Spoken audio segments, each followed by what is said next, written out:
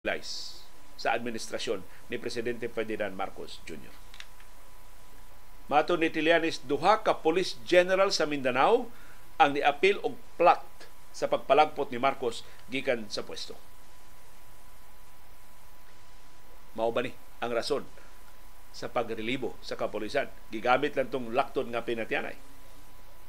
Ato na mahibawan, ato na masabtan sa musunod nga mga adlaw.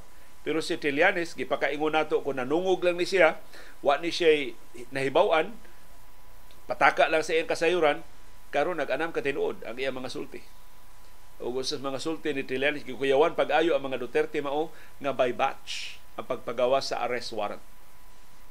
Ang una ko nung ipadakop si Duterte, why lain? Si Duterte ramoy unang ipadakop karong buwan sa Hunyo, labing dugay sunod buwan sa Hulyo. Ang second batch maglakip na no ni Vice Presidente Sara Duterte Carpio, Senador Bato de la Rosa, Senador Bongo o sa uban pang mga sinaligan ni kanhi Presidente Rodrigo Duterte.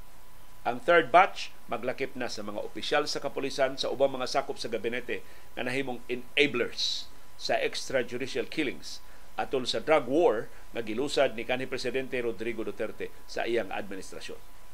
Ug katong maong drug war, imbis mo pa menos, ni paborot pagsamot sa negosyos illegal nga drugas din sa Pilipinas. Kay ang target sa drug war maura ang mga pipitsugin. Maura ang mga mamaligyaay sa kadalanan.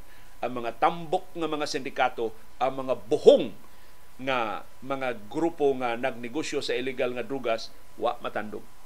Kay kung tuuhan ang expose ang testimonya ang affidavit nga nana sa ICC sa star witness nga si Arturo Las Cañas si Duterte man mo kinadak-an nga drug lord diya sa habagatang Mindanao.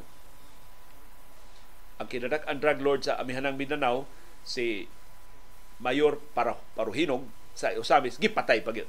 So nasulo na nila ang merkado karon sa Shabu Diaz Mindanao kung tuuhan ang pasangil ni Arturo Las Cañas.